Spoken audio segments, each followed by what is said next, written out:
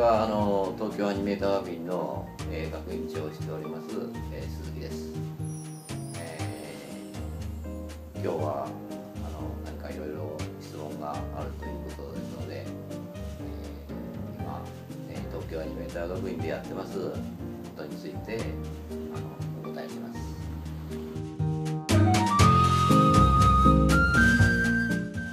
えーと私は23歳から、40歳まで、えー、少年画報社という出版社で、えー、当時あの「週刊少年キング」という、えー、漫画雑誌が出たんですけど、えー、それの編集に、まあ、20年間携わって、えー、その間約、まあ、1000名近くの、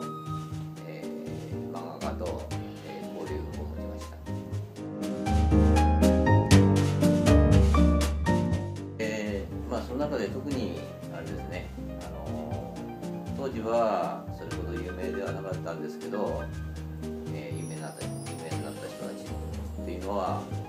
まあ、えー、手塚さんはは別にして、えー、赤塚不二夫さんとか藤子不二夫さんとかですね。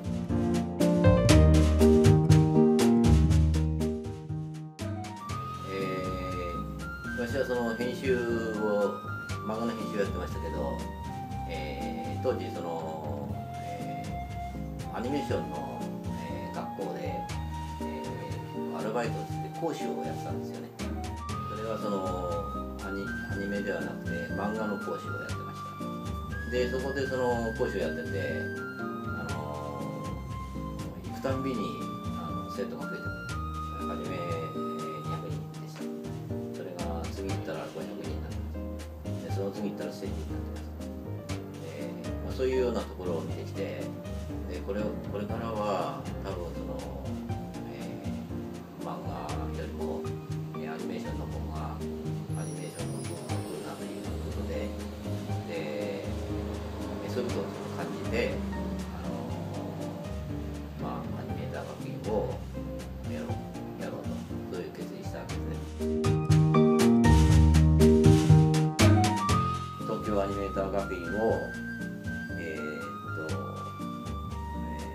1982年、まあ、40歳の時1980年に、えー、始めました。それで今ちょうど30年目になりますけど。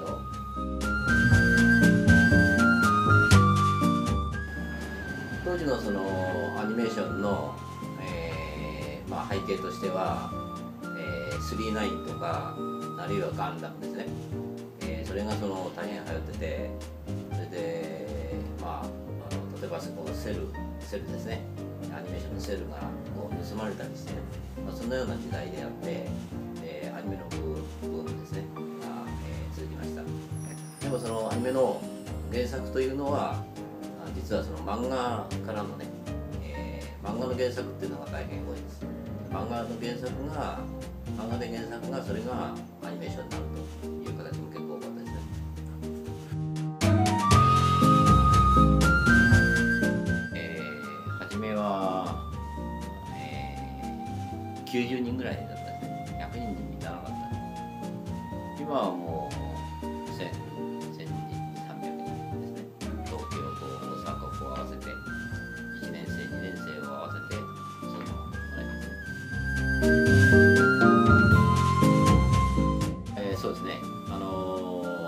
番初めうちがあの学校をあの起こした時創立した時には、えー、入学式にはあの松本零士さんとかね、えー、来てくれました。で当時の松本さんはそろそろその39があの流行りだした頃で、えー、大変忙しいにもかかわらずね、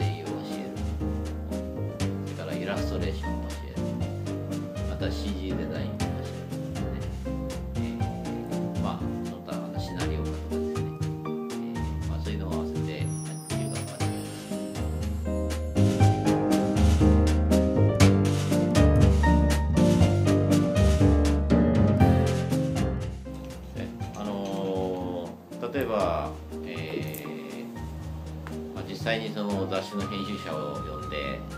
それでその生徒作品を、えーその編集者に見てもらう。でそこでその編集者が気に気に入られると編集者に気に入られると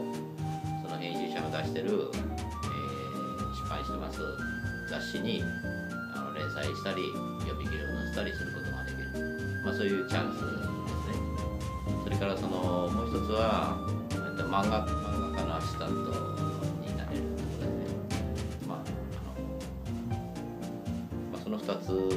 が主な、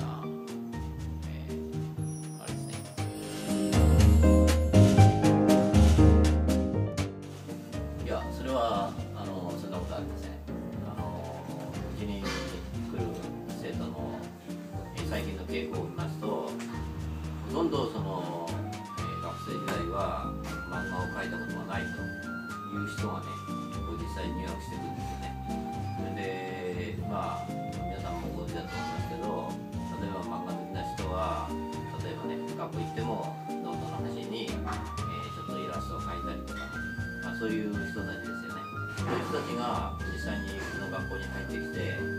それでそのあの一から基礎的なもの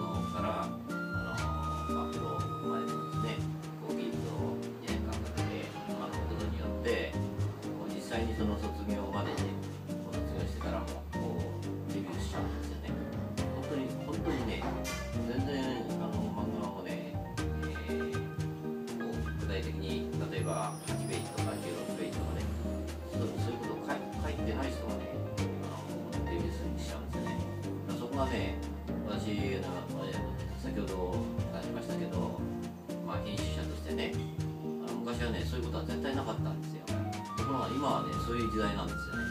でそれの例として例えば加藤英子さんなんかね実際にそのうちに入ってくるまではね作品を作ったことがなかったんですね。ところがうちに入ってきて卒業時にはもう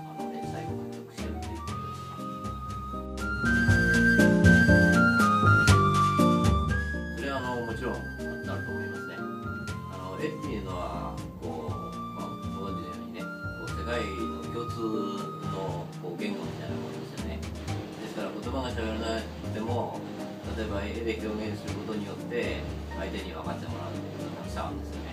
えー海外旅行なんかに行ってもそうですし、まあ、意外とその私なんかも例えばアメリカ行って、えーあまり英語は話せないんですけど例えば絵を描くことによってねコミュニケーションを取ったりします。でそういうことですからあのイタリアの人も、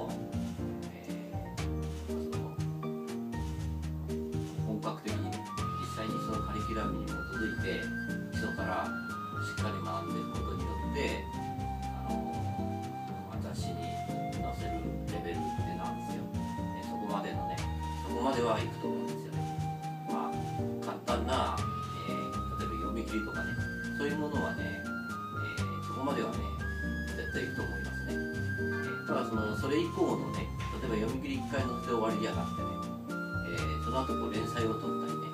それはねまた結構大変なことなんですけどね。まあとりあえずはそのデビューはできると。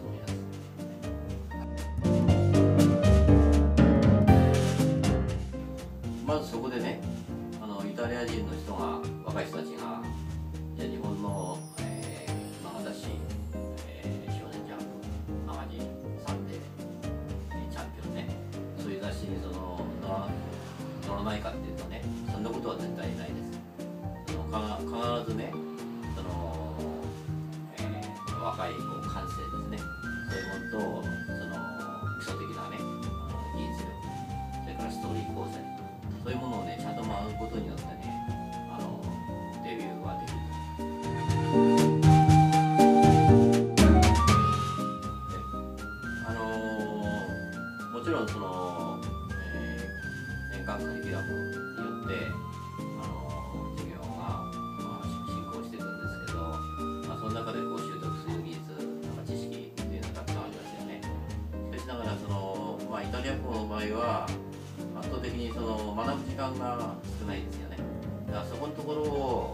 ちょっと気になるところでですからその課題なんかをたくさん出してでその学ぶ時間をね今度は自宅でね自分でその学習してると。そういう努力がね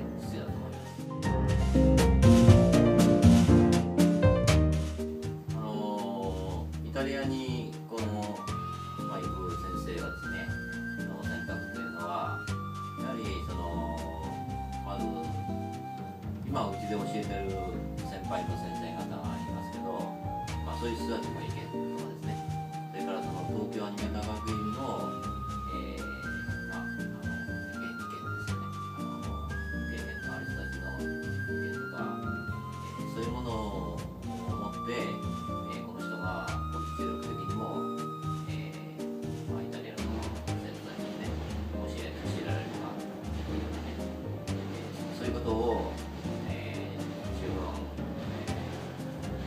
えー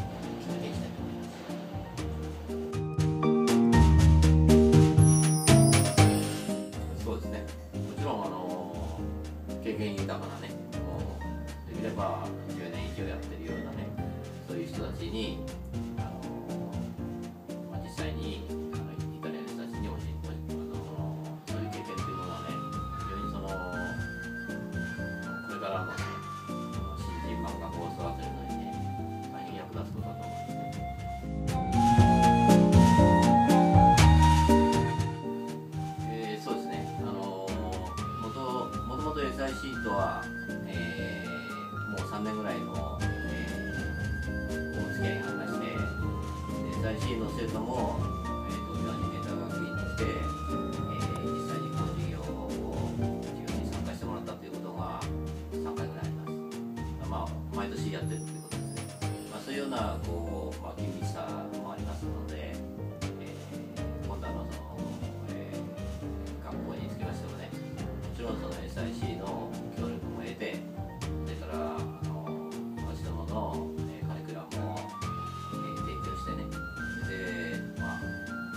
できれば本当にこのイタリア人が書いたね、えー日本の漫画それをその雑誌にね、掲載するこれがねあの最大の今回の目的ですね。まあ本当にねあの別に日本人じゃなくてもねこう漫画の世界っていうのは学歴とかあるいは以前何かビーターでもねそうそういうことは一切関係なくとにかく面白い漫画を描いた人がねあの王様になれる世界なんですよね。ねだからあのそそこにはね本当に国境もないんですよね。ですからねイタリア人の人たちあの将来その日本でね日本の雑誌でこうデビューしてねあるいはこの儲けたいとかねあるいはあの活躍したいという人はね本当にそのこの感覚的にはねこう日本人のね日本人のこうなんていうかが受けるようなねあの漫画をね、えー描いてほしいと思いますね。そうすると必ず、まあ、イタリア人が描いたっていうことでね結構ねそういうそのちょっとこの面白みもあると思うんですよね。日本人が描いた日本の漫画っていうよりねイタリア人が描いた日本の漫画これねちょっと興味があるんですよね実はね。